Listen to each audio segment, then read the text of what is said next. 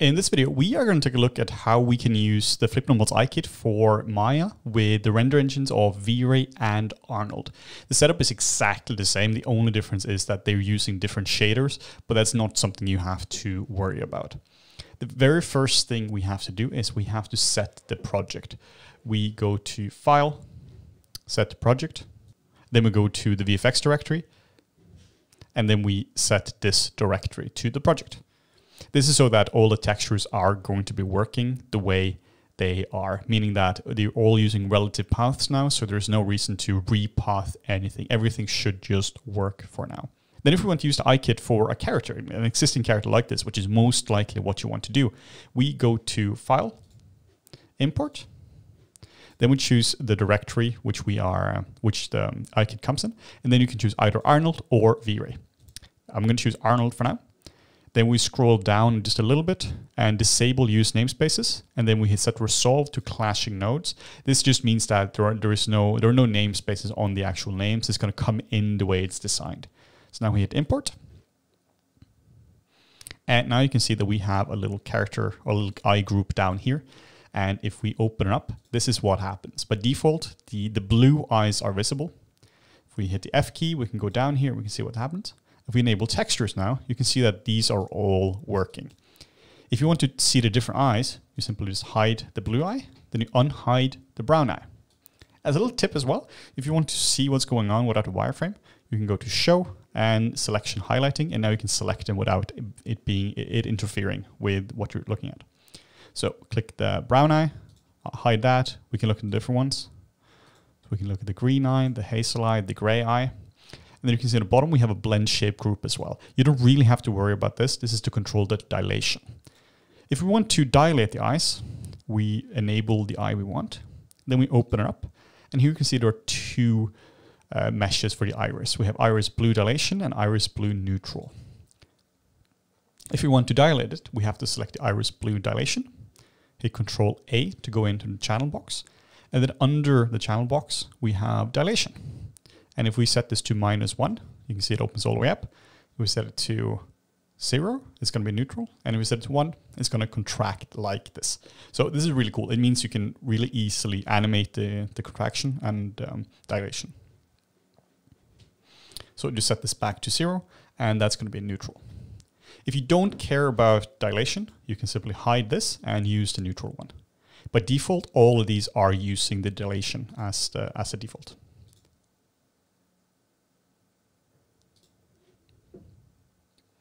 So if you want to move the eye into position, what I recommend doing is you select the entire eye group and then you move the eye group. We're just going to go and enable selection highlighting again.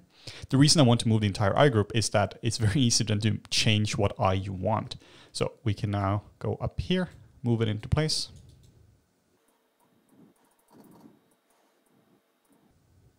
Something like that. Hit Alt D to deselect your uh, object, and now you can see what's going on. So if we want to now hide the blue eyes and look at something else, we can just hide it, hit the H key, now we can get the brown eye. This is why we moved the group initially. So in order to get the eyes over to the other side, what we can do, we can simply duplicate the entire group. I just want to be have the blue eyes visible. We can take the entire group and we can duplicate that. But the problem is if we just hit Control D, the blend shape is not going to propagate through. It's not going to be connected. So if we want, we want to actually duplicate this with the blend shape enabled, meaning if you care about dilation, we go to Edit, Duplicate Special, click little box next to it, and then we make sure that we hit in Duplicate Input Graph, which is going to duplicate all the actual, or which is going to actually connect everything up properly. So then we can apply, and now we have the eyes. I also recommend that you name it right away as well, just so you have control of what's going on and you name the eyes based on this is the character left eye. It's still screen right, but it's character left. And then we can name this R eyes. There we go. And we can just remove the one on the bottom as well. So now we can take this entire one and we can uh, we can move this guy over like so. Just so it fits up fits approximately. You can also scale them up and down. But be aware that this uses a displacement map. So, and the displacement map is tied to the scale. So if you do, if you do change the displacement map, that means that you will have to, if you do change the scale, you will have to rebalance the displacement map for it. Also, as a heads up as well, these are using specific maps for the different colors, meaning that you can't just replace this eye here. You can't just go in, change the iris blue and change this to the, um, the brown one because this actually has a different map for displacement and specular and all that than um, the brown one. So that's why we have different folders for them or different groups. The eye kit also ships with two different scleras. The sclera is the white part of the eye. So different ethnicities have different uh, different color of the sclera. So we're providing one which is bright like this and one which is dark. So we're going to be showing that for the brown eye. So here is just the default brown eye. But if you're doing having a character and you want the sclera to be darker, you simply select the sclera brown. Then we uh, just going to disable that so we can see. Then we right click, use existing material, and then we can choose the um, sclera dark. And there we go. Now you can see that this has been applied to it. And now we have two different eyes, which is kind of cool. If you want to change the texture resolution, you can also easily do that. The quickest way of doing that is to open up the Hypershade. And then we can find the material, we can simply just click on the material. Let's say we want to change the resolution for the sclera. Just go all the way to the left, also all the way to the right. Click select, and then we can bring it into the hypershade. And then you can see that there are two maps atta attached to this one. This one goes into the subsurface, and this goes into transmission. And you can see we call this sclera albedo 2K, and here it goes into the folder, which is using 2K map.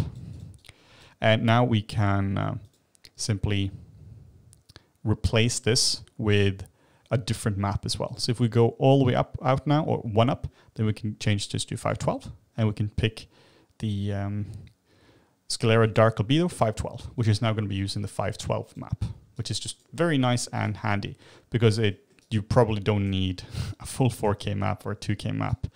For most shots, 512 is really enough. By default, we are using 2K, just because we can. but if your if your shots are gonna be something like this, you don't have to. But if you're going crazy close up, a 2K map is gonna work. Or if you're going even crazier close up, you a 4K map is gonna be nice. But 4K is real for extreme cases. So once you have that, then we can uh, make a little region. Then we can start to render this. And there we go, instant nice eyes for Arnold. And if you are using V-Ray, the setup is exactly the same. As a last little tip, when you're lighting eyes, you really want to use HDRI maps for this. It's really hard to get nice natural eyes when it comes to lighting and using just area lights. I highly recommend that you get some nice HDRIs like this. This is from HDRI Haven, which just makes it really, you just get this a lot of life into your eyes by using HDRIs. So I hope that was useful. If you want more information, we have a PDF which accompanies this video as well.